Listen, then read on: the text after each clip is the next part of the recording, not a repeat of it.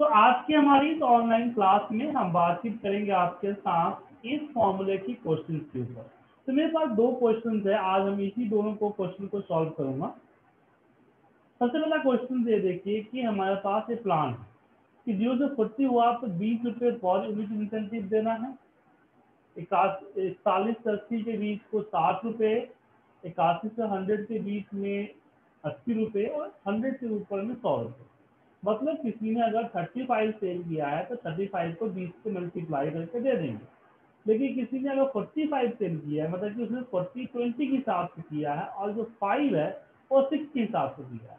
तो फोर्टी को ट्वेंटी के हिसाब से प्लस फाइव को सिक्सटी हिसाब सिक्सटी के हिसाब से देना है। ऐसे किसी ने एट्टी फाइव सेल किया है मतलब कि फोर्टी ट्वेंटी के हिसाब से किया है अगेन फोर्टी सिक्सटी के हिसाब से किया है, और फाइव जो है, उसने एट्टी के हिसाब से किया है। तो सेम कंफ्यूजन यहाँ पे दिया होगा तो कैलकुलेशन कैसे करेंगे? चलिए बताते हैं। तो यहाँ पे हम देंगे एफ़ माइनस है इक्वल एफ़ अगर equal to less than equal to अगर 40 है तो सिंपल सा जो फिगर है, उसको मल्टीप्लाई बाय 20 करें अदरवाइज़ एक और इस चलेगा और देखेगा कि अगर A less than equal to 60 है तो इसने 20 पार कर गया क्या? मतलब कि उसने 800 तो उसको मिल ही जाएगा प्लस इस जो नंबर होगा, उसमें से माइनस हम 40 करेंगे और उसको मल्टीप्लाई बाय 60 और कैलकुलेशन में बोर्ड मास मेथड का इस्तेमाल करना ज़रूरी तो सेकेंड सेकेंड कंडीशन समझ आया आपको? हेलो सेकेंड कंडीशन समझ में आ गया सर नहीं सर ये 60 कैसे आप कंसीडर कर रहे हो? यहाँ है ना सर अगर किसी ने 45 सेल किया तो 40 का 800 दे दिया। अब 40 के बाद कितना सेल किया है? तो माइनस मुझे पता चल जाएगा ना? बी टू माइनस में forty five minus forty five आ जाएगा। फाइव मल्टीप्लाई बाई सिक्सटी मैं दिखाता हूँ आपको। अभी देखिए। अगर मान लीजिए मैंने सेल कर दिया फिफ्टी फाइव समझे ना सर तो फिफ्टी फाइव में क्या होगा कि एट हंड्रेड तो दे दिया, इसने ट्वेंटी के हिसाब से। फिफ्टी फाइव में से फोर्टी को माइनस किया क्योंकि फोर्टी ऑलरेडी वो दे चुका है एट हंड्रेड फिर जो रिज़ल्ट आएगा फिफ्टीन उसको उससे सिक्सटीन से मल्टीप्लाई आया समझ में सर?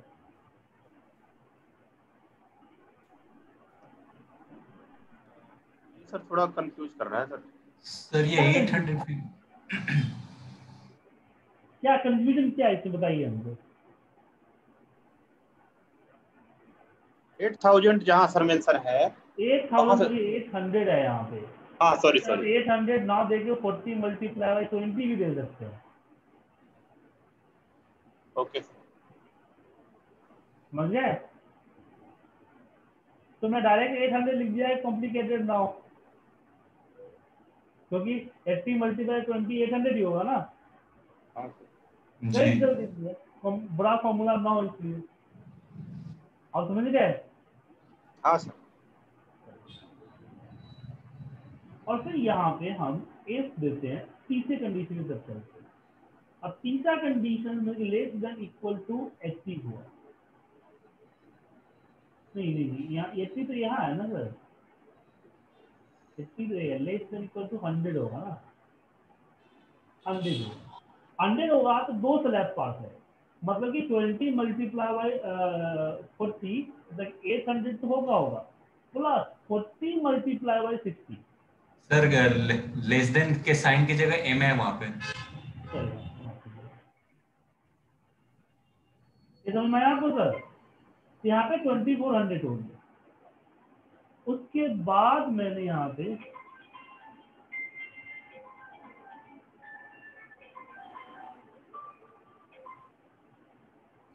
हाँ, उसके बाद उसके बाद यहाँ प्लस जो है हम करेंगे इसमें हम बोलेंगे कि भाई इसमें से माइनस करो एट्टी को। क्योंकि एट्टी का दे चुके हैं ना और फिर वो मल्टीप्लाई बाई होगा again eighty okay eighty eighty से हंड्रेड के स्लैब का eighty rupees per unit sir जहाँ ये ट्वेंटी फोर हंड्रेड है हाँ। ये twenty twenty multiply by sixty है ना? नहीं नहीं forty multiply forty into sixty होगा। अच्छा अच्छा हाँ सर। कंफ्यूजन है तो आप यहाँ पे डायरेक्ट कर सकते हैं ना मल्टीप्लाई सिक्सटी कर सकते हाँ। हैं हाँ हाँ। लेकिन कॉम्प्लिकेटेड हो जाता है इसलिए हमने यहाँ पे डायरेक्ट हम्म। जो है ट्वेंटी फोर हंड्रेड जोड़ दिया। ओके। फिर हम इफ़ लगाएँगे और बोलेंगे कि अगर A less than equal to equal to नहीं होगा लेस देन हंड्रेड है इसका मतलब है कि एट हंड्रेड तो मिलेगा ही मिलेगा ट्वेंटी फोर हंड्रेड ही मिलेगा और प्लस बीस मल्टीप्लाई एट्टी मतलब कि सोलह सौ तो मिलेगा ही मिलेगा। उसके अलावा हमने बोला इसमें से हंड्रेड को माइनस करो और जो बचता है उसको मल्टीप्लाई बाय हंड्रेड इतना तो एक सौ पाँच से सेव किया तो चालीस पहले बीस के हिसाब से मिलेगा मतलब आठ सौ मिला, फिर चालीस मिला, साठ के हिसाब से मतलब चौबीस सौ मिला, फिर बीस मिला, अस्सी के हिसाब से मतलब सोलह सौ मिला और फिर जो है बीस मिलेगा हंड्रेड के हिसाब से दो हज़ार। तो ये तो बीस से ज़्यादा कुछ भी हो सकता है तो इसमें माइनस करके निकाल के मल्टीप्लाई बाय हंड्रेड कर दिया अब समझ में आ गया आपको जरे सर किसी को डाउट किसी को डाउट आपको? नहीं सर नहीं सर। अगर कंफ्यूजन है तो चलिए इसको मैं एवलेट कर देता हूँ देखिए। सबसे पहले इसे चेक किया कि क्या A less than equal to forty है? नहीं है। तो फिर दूसरे को दिया, क्या लेस देन एट्टी है? नहीं है। फिर तीसरे को दिया, क्या लेस देन हंड्रेड है? नहीं है। फिर चौथे को बोला, क्या है? ग्रेटर देन हंड्रेड है? मतलब कि हाँ। तो ठीक है। Eight hundred plus twenty hundred करो। प्लस सिक्सटीन हंड्रेड करो। फिर उसके बाद उसने बोला बी माइनस बी करो अड़तालीस तो आ गया सर और रिज़ल्ट आपको अड़तालीस को दिख गया ठीक है? तो इसमें कंडीशन कुछ है कैलकुलेशन है। जो कैलकुलेशन मैंने दिखाया वो कैलकुलेशन है। ठीक है? आगे बढ़े। यस सर अब इलेवेंथ नंबर क्वेश्चन पे आते हैं। इलेवेंथ नंबर क्वेश्चन जो है थोड़ा सा कॉम्प्लिकेटेड है। ध्यान सुनिएगा इसके लिए पहले आपको एक स्टोरी सुनना होगा। स्टोरी है कि एक बिल्डर है। वो क्या करता है? फ्लैट बनाता है और फ्लैट को बेचता है। राइट बट फ्लैट बनने में तो टाइम लगता है तो पहले वो फ्लैट की बुकिंग लेता है। बुकिंग का नियम उसका है कि वो एमआरपी का जो फ्लैट का प्राइस होगा, उसका 10 परसेंट तो लेता ही लेता है। ठीक है? आपको फ्लैट बुक करना है तो 10 परसेंट आप जमा कीजिए और अपना फ्लैट बुक कर लीजिए ठीक है? लेकिन जो दस परसेंट का क्राइटेरिया है, वो सिर्फ़ फिफ्थ फ्लोर से नीचे तक का है। फिफ्थ फ्लोर तक का उससे ऊपर का बिल्डिंग है तो उसका परसेंटेज क्राइटेरिया अलग है। मतलब उसको बुकिंग अमाउंट उसका अलग क्राइटेरिया है। ठीक है? तो फ़िलहाल उसको जो कैलकुलेट करना है, वो फिफ्थ फ्लोर तक को करना है। वो कहता है कि अगर पाँचवें फ्लोर तक हमें कोई खरीदने आता है तो उसके प्राइस का टेन परसेंट मैं लेता हूँ बुकिंग अमाउंट बट प्रॉब्लम क्या होता है कि समटाइम कुछ कस्टमर ऐसे होते हैं, वो बोलते हैं कि मेरे पास अभी कुछ पैसा शॉर्ट है, आप बुकिंग कर लीजिए। बाकी जो पैसा है ना, जल्द दे दीजिए। बिल्डर चाहता है कि कोई बात नहीं, जो पैसा शॉर्ट है आपका, जैसे मान लो ढाई लाख रुपए जमा करना था इसने डेढ़ लाख जमा किया शॉर्ट है पैसा तो आपको हम बीस महीने का टाइम देते हैं। बीस महीने में आप पैसा दे दीजिए। बीस महीने तक कोई इंटरेस्ट आपसे नहीं लूँगा। बीस महीने से अगर लेट होता है, जितना महीना लेट होता है, सत्रह परसेंट ईयरली के हिसाब से उतना आपको इंटरेस्ट देना पड़ेगा। तो समझ लीजिए कि दो हज़ार चौदह है, वो ज़्यादा हो गया। मान लीजिएगा, दो हज़ार अठारह अब दो हज़ार अठारह में हमने एक मान लीजिए कस्टमर ने फ्लैट बुक किया, डेढ़ लाख रुपए दिया।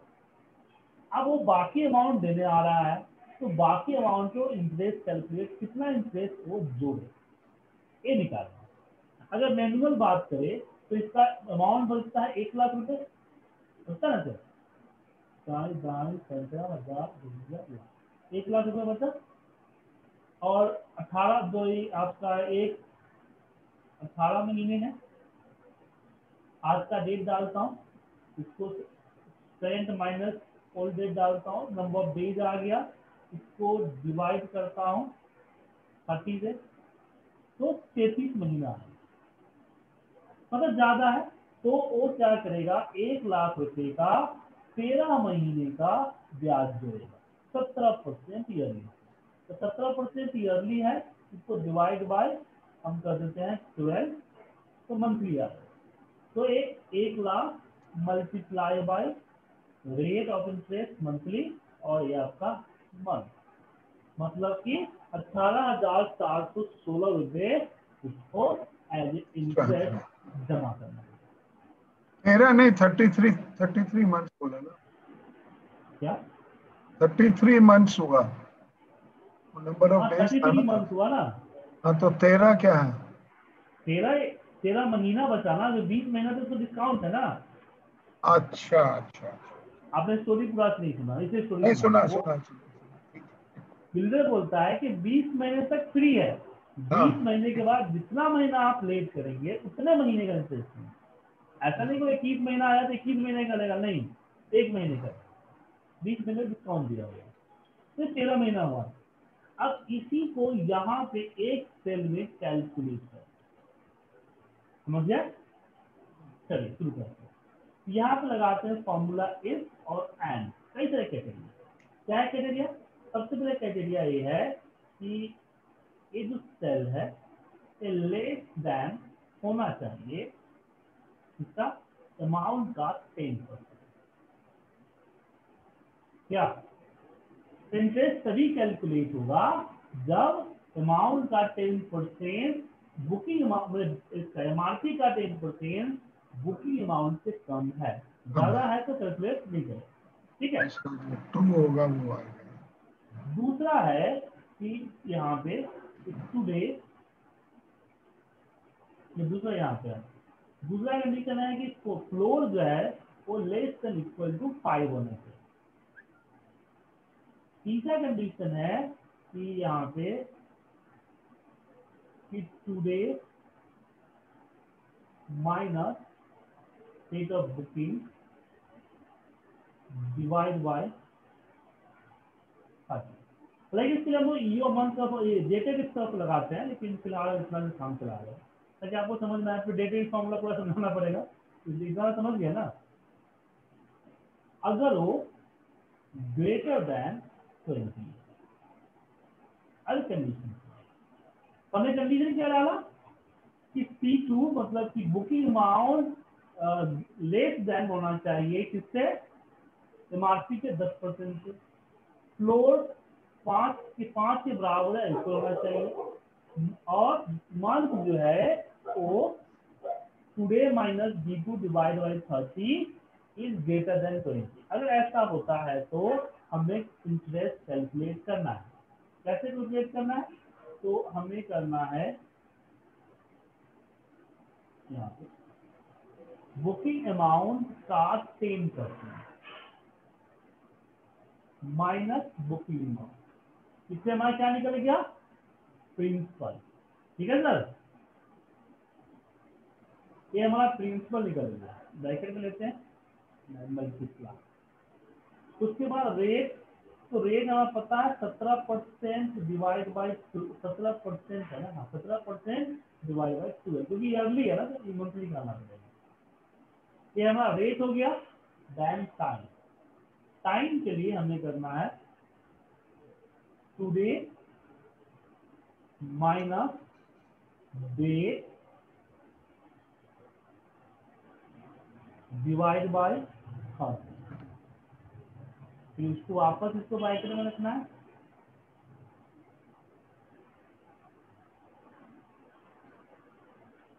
माइनस ट्वेंटी एक ब्रैकेट और लगा देते हैं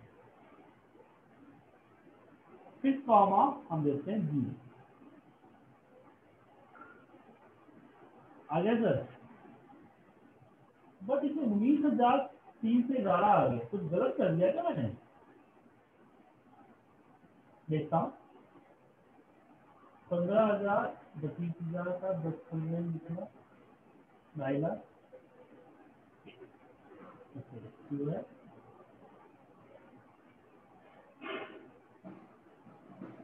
इसका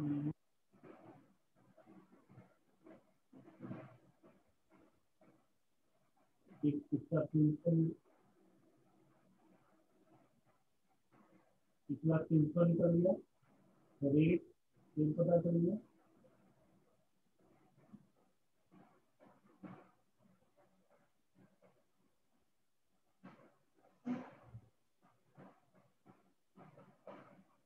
अच्छा, ते- अब हमें तेरह सिक्स, तेरह डाल दिया था ना, तेरह पॉइंट सिक्स है। ड्यूरेशन तो तेरह तीन सौ इकसठ नहीं तीन सौ पॉइंट ये समझ में आया सर आपको?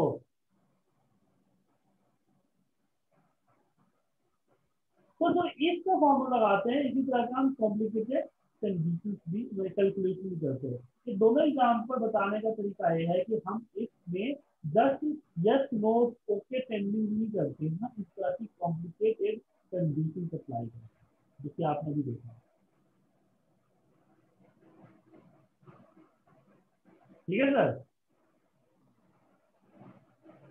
हेलो प्रैक्टिस करके आएगा सर क्या? प्रैक्टिस करके आएगा सर हाँ प्रैक्टिस तो करना पड़ेगा वो तो आप ही करना है तो हम करेंगे नहीं।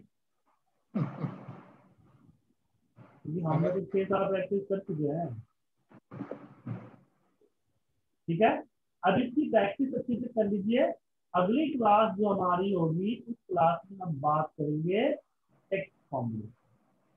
ठीक है? अब मैं यहाँ इसको खत्म करता हूँ। हाँ आगे जो हर क्लास में एक दो बार इसका ज़रूर यूज़ होगा, क्योंकि तो कुछ ऐसी चीज़ें हैं। लेकिन फिर भी आप प्रैक्टिस कर लीजिए तो डाउट हो तो आप और कोई डाउट है तो पूछ लीजिए आप। प्रवीण जी कुलदीप जी कोई डाउट है? सर वो फिफ्थ क्वेश्चन में जो आपने उस दिन टाइम वाला दिया हुआ था। हम मैंने आपको बोला ना टाइम की कैलकुलेशन जो है हम कुछ दिन एक दिन बाद बतलाएँगे तो उसमें ओ- okay sir.